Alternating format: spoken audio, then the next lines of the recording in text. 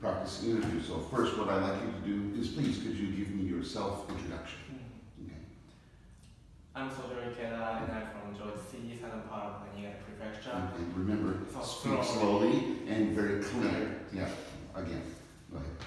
I'm Sojiro Ikeda and I'm from Joetsu City, southern part of Niigata Prefecture. Mhm. I attend the College of Foreign Languages, Tourism and Airline. My major is International English Communication.